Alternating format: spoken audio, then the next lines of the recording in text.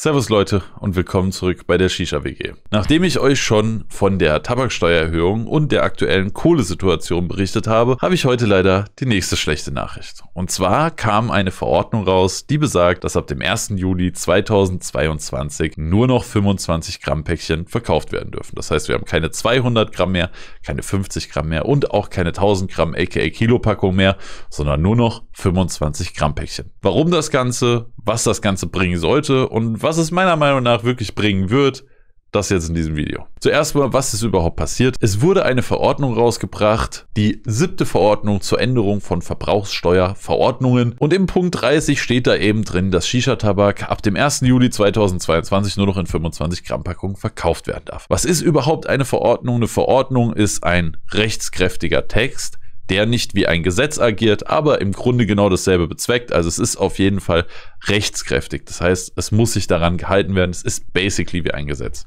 Eine Verordnung kommt so zustande, dass jemand einen Referentenentwurf rausbringt und danach gibt es eine gewisse, einen gewissen Zeitraum, in dem Stellungnahmen von verschiedenen Instanzen, seien das äh, Hersteller, Firmen, Verbände, EVs und hast du nicht gesehen, eine Stellungnahme dazu abgeben können. Dann wird da eben nochmal ordentlich drüber nachgedacht und je nachdem, was in diesen Stellungnahmen dann vorkommt, werden die eben komplett ignoriert oder es wird nochmal was überarbeitet und dann kommt letztendlich die rechtskräftige Verordnung raus. Und die muss dann irgendwo in der offiziellen Stelle released werden. Meistens ist es der Bundesanzeiger und dann ist sie entweder nach 14 Tagen oder zu dem Datum, das da drin genannt wird, in dem Fall eben der 1.7.2022, rechtskräftig. Jetzt ist natürlich die Frage, warum macht man das Ganze? Also es muss ja irgendeinen Grund geben, es muss ja irgendein Ziel geben, das da erreicht werden soll. Der Hauptgrund, der da immer häufiger genannt wurde, ist eben, dass die Bars richtig arbeiten sollen. Es ist ja schon länger bekannt, dass in Bars nur 20 Gramm Päckchen verkauft werden dürfen. Das heißt, es muss eine Einheit an Tabak an einen Kunden verkauft werden, inklusive dem Service, dass diese dann zubereitet wird, aka der Kopf gebaut wird und euch rausgebracht wird und das sauber gemacht wird und so weiter. Aber wie ihr vielleicht in Shisha-Bars bemerkt habt, halten sich da relativ wenig Leute dran. Ne? Also ich glaube, ihr kennt das ja aus den Shisha-Bars, muss ich nicht weiter ausführen. Theoretisch sollte das so sein, dass diese 20-Gramm-Regelung durchgesetzt wird passiert eher nicht. Und da dachte sich die Bundesregierung wohl oder die Referenten, die da eben diesen Entwurf gemacht haben, das wäre doch eigentlich eine gute Sache, wenn es Tabak nur in 25 Gramm Päckchen gibt, weil dann können die ja nur 25 Gramm kaufen. Was die Leute da, glaube ich, nicht so sehr bedacht haben, ist, wie sich das Ganze dann wieder auf den Schwarzmarkt ausüben wird, aber da kommen wir gleich noch zu. Dann kam eben der Referentenentwurf raus und dann ging das los mit den Stellungnahmen. Man kann sich das auch nochmal angucken auf der Website, zeige ich euch gerade mal. So, man kann sich dann eben hier beim Bundesministerium der Finanzen die siebte Verordnung zur Änderung von Verbrauchssteuerverordnung angucken, gibt es einen kurzen Einleitungstext und dann sehen wir hier erstmal den Verordnungsentwurf. Den könnt ihr euch dann einmal angucken. Da stehen da schon viele drin. Ne? Also zum Beispiel hier ist das Problem und die Zielsetzung, die dann eben erreicht werden soll. Wir haben dann Lösungen, die da genannt werden, Alternativen. Keine, Danke dafür, Digga. Erfüllungsaufwand, weitere Kosten, bla bla bla bla bla. Sowas steht da alles drinne. Und dann kommen wir zu dem nächsten Schritt, die Stellungnahmen zum Referentenentwurf. Dieser, diese Verordnung betrifft nicht nur Tabakwaren, da geht es ja noch um andere Sachen, deswegen sind hier auch noch so Sachen drin wie Klein- und Obstbrenner e.V. und noch viele andere Sachen. Aber wir haben auch Stellungnahmen von vielen Tabakherstellern, Tabakanbauern und Co. Zum Beispiel waren da dabei eine Stellungnahme von der Alfacher Distribution Germany GmbH. Wir hatten drinne Stellungnahme des Bundesverbandes der Tabakwirtschaft und neuartigen Erzeugnisse, European Shisha Community Alliance, Interessengemeinschaft Tabakwirtschaft e.V., mittelständische Unternehmen der Tabakwirtschaft e.V. und Verband Deutscher Wasserpfeifen, Tabakmanufakturen und Händler e.V. Und wenn man die sich alle durchliest, dann kommt man eigentlich im Großen und Ganzen zu einem Schluss. Ich packe euch das auch nochmal alles in die Videobeschreibung, könnt euch das gerne alles nochmal durchlesen im Einzelnen. Im Großen und Ganzen kommt man zu einem Schluss.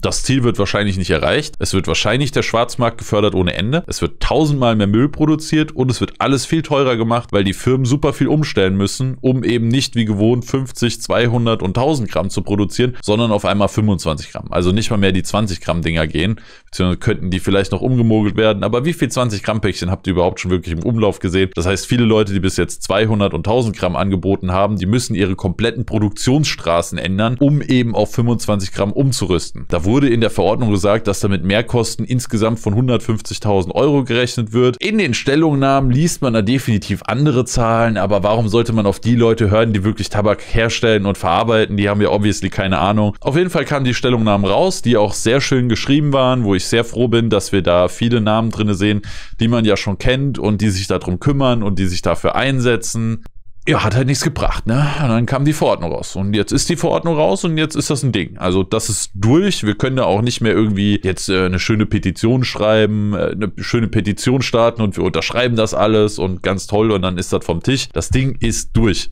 Die Stellungnahmen waren unsere Chance, das Ding zu ändern. Ja, und nachdem das eben durch war, also wir hatten den Entwurf, wir hatten die Stellungsnahmen und dann kam eben die verkündete Verordnung. Da kann man dann ein bisschen runterscrollen, könnt ihr euch auch alles nochmal durchlesen, aber im Grunde ist das hier das absolut passende. Für Wasserpfeifentabak nach Paragraph 1 Absatz 2b des Gesetzes sind nur Packungen mit einer Menge bis zu 25 Gramm zulässig. Das heißt, es geht auch weniger, aber nicht mehr. Naja, und obwohl eben diese ganzen Stellungnahmen dann am Start waren, die super schlüssig waren, die mega viel Sinn gemacht haben, die echt Insights geliefert haben, dass man da eben verstanden hat, das ist wahrscheinlich kein guter Ansatz, um das gewollte Ziel zu beheben, kam es eben trotzdem raus. Das Einzige, was man jetzt noch dagegen machen könnte, wäre dagegen klagen und gegen eine Verordnung klagen, hat eine sehr, sehr, sehr, sehr, sehr kleine Erfolgschance und gerade in dem Fall denke ich eine basically non-existente Chance. Was heißt das im Klartext? Das Ding ist durch. Juli 2022 kommen nur noch 25 Gramm Päckchen. Was bedeutet das Ganze jetzt und was passiert dadurch? Der erste und einer der wichtigsten Punkte für mich ist, das wird bei den Bars nichts ändern. Wie viele Bars kennt ihr? Die trotzdem, obwohl schon die 20 Gramm Regelung draußen war, die trotzdem 1000 Gramm gekauft hat oder sogar 1000 Gramm vom Schwarzmarkt gekauft hat. Ihr kennt bestimmt auch etliche. Jeder Shisha-Raucher, der häufiger in Shisha-Bars ist, weiß, dass das gang und gäbe ist. Und ich glaube, genau das wird jetzt nur noch viel schlimmer. Das heißt nicht nur, dass der Staat das Problem nicht behoben hat, er hat auch noch ein komplett neues geschaffen und das ist, dass die Leute jetzt nicht mehr nur nicht 20 Gramm Packungen kaufen, sondern 2000 oder 1000 Gramm Packungen und ein bisschen vom Schwarzmarkt. Wenn das andere wegfällt, dann kaufen die ja nur noch auf dem Schwarzmarkt. Ansonsten würden Pfeifen in Shisha-Bars mindestens doppelt so teuer werden, weil das 25-Gramm-Gesetz in Kombination mit der geplanten Steuererhöhung wahrscheinlich dafür sorgen wird, dass so eine 25-Gramm-Packung irgendwas zwischen 4 und 6 Euro kostet. Oder für Premium-Tabak wahrscheinlich sogar noch mehr. Und nicht nur in den Bars ist das Ding scheiße. Also eigentlich sollten wir ja ein Problem in den Bars beheben. Wir schaffen aber auch noch ein komplett neues im privaten Sektor. Oder wenn ihr jetzt mal drüber nachdenkt, 25 Gramm könnt ihr euch kaufen. Jetzt raucht ihr aber ein Little mit 15 Gramm. Dann habt ihr ja 10 Gramm über, für den ihr scheiße viel Geld jetzt ausgegeben habt mit der Steuererhöhung und der 25 Gramm Regelung. Dann schmeißt doch keiner 10 Gramm Tabak weg. Oder selbst wenn, dann würden die also dafür sorgen, dass 10 Gramm Tabak weggeworfen werden. Aber das wird nicht passieren. Die Leute werden dann basically dazu gezwungen, sich eine neue 25 Gramm Packung zu holen. Dann haben die 40 Gramm zu Hause. Dann können die wieder zweimal 15 Gramm in ihrem Litlip zum Beispiel rauchen. Und dann haben sie wieder was übrig. Also was machst du? Entweder wieder wegwerfen, was keinen Sinn macht, wo, wo keiner Bock drauf hat, oder du kaufst dir die nächste Verpackung. Das heißt, die, geplante, die geplanten Ziele durch die Tabaksteuererhöhung, nämlich dass die Bürger gesünder werden und weniger rauchen, die wird dadurch basically ziemlich belastet, weil das wird keiner machen. So, dann wirst du immer von 25 Gramm Packung deine Reste aufheben und die nächste kaufen und wieder die nächste kaufen. Oder selbst wenn ihr euch 10 auf einmal kauft, sodass ihr dann auf 250 Gramm Tabak kommt, dann müsst ihr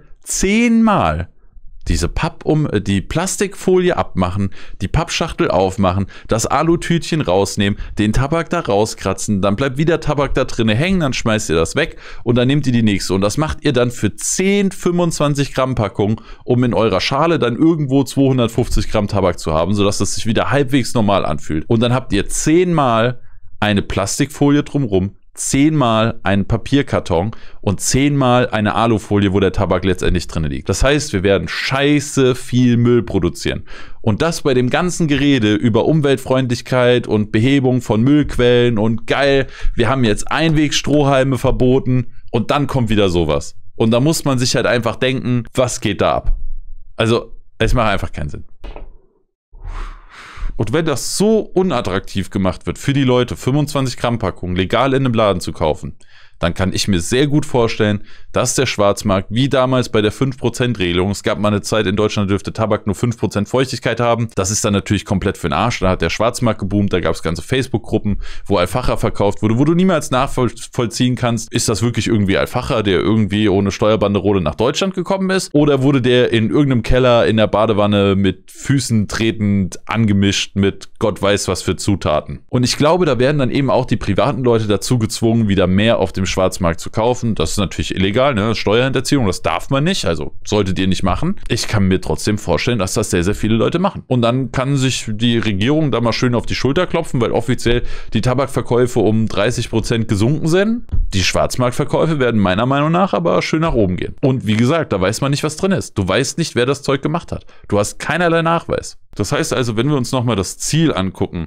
dass eben der illegale Kauf in Shisha-Bars unterbunden werden soll, weil es ja nur noch legalerweise 25 Gramm Packungen gibt, glaube ich für meinen Teil, dass es in den Bars nichts ändern wird, im privaten Sektor nur für noch schlimmere Situationen sorgen wird. Der Schwarzmarkt wird buben, die Müllproduktion wird nach oben gehen ohne Ende und ansonsten wird kein einziges Ziel erreicht, was man irgendwie als erreichenswert festlegen könnte. Jetzt fragen wir uns vielleicht noch, okay, das klingt ja alles ziemlich scheiße, also lass doch da was gegen machen so. Lass doch da eine Petition, wir unterschreiben da jetzt schön alle und äh, dann hat sich die Sache. Das Problem damit ist, dass die Verordnung durch ist. Das Ding ist gegessen. Unsere Chance waren die Stellungnahmen, die auch sehr gut geschrieben wurden. Bin ich sehr dankbar für jede einzelne Stellungnahme, die da geschrieben wurde, die da hingesendet wurde. Das Dumme ist nur, die haben halt nichts gebracht. Und jetzt haben wir den Salat. Und Fakt ist, ab 1. Juli 2022 wird es nur noch 25 Gramm Päckchen geben. Ich bin sehr gespannt, was mit dem Shisha-Markt passieren wird. Ich bin der Meinung, der Schwarzmarkt wird boomen. Das wird besser denn je für den Schwarzmarkt. Die Steuereinnahmen werden sinken. Die Leute werden genauso viel rauchen und die Bars werden genauso viel Tabak da haben wie vorher. Nur, dass es eben für uns unnachvollziehbar ist, wo der herkommt. Die Steuereinnahmen sinken und so weiter. Ich drehe mich im Kreis und genau das ist auch der wichtige Punkt. Wenn man eben versucht, das irgendwie sinnvoll zu begründen, dann wird man sehr schnell feststellen, gibt's keine. Tut mir leid, dass ich wieder so schlechte Nachrichten für euch habe. Leute, gebt gerne einen Daumen nach oben, wenn ihr sagt, Marv, danke für die Infos. Tut mir einen Gefallen, drückt nicht den Daumen nach unten, nur weil das jetzt schlechte Nachrichten sind. Sagt euren Freunden Bescheid. Und ansonsten habe ich hoffentlich das nächste Mal wieder ein schöneres Video für euch. Bis dahin, macht's gut. Eure Shisha WG.